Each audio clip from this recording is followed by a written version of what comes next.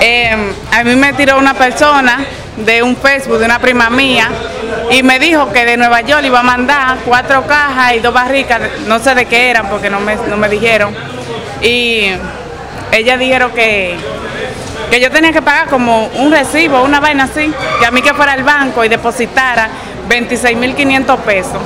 ¿Lo depositaste entonces? Ajá, y tengo el... Entonces luego del depósito, ¿qué pasó? Explícame. No, ellos, parece que ellos cogieron tiempo para ir a recoger dinero, no sé. Y me dijeron a mí que yo tenía que buscar más dinero por una cajita pequeña que venía con 18 iPhone 11 X Pro más de diferentes colores y que, que yo tenía que buscar 70 mil pesos. En sentido general, ¿en cuánto depositaste entonces? No, 26 mil 500 pesos. Wow. ¿Cómo te percataste de que se trataba de una estafa? Porque yo intenté llamar el número y cuando yo llamé me tumbaron la llamada y cuando me salí de la llamada ya yo estaba bloqueada y todos los mensajes estaban borrados.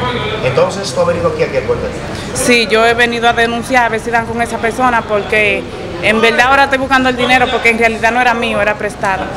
¿Qué llamado a hacer entonces a las autoridades que lo verán? Que agarren a esa persona y a los demás que no se dejen estafar, que cuando le escriban gente así, que llamen a los otros familiares a que confirmen a ver si es realidad.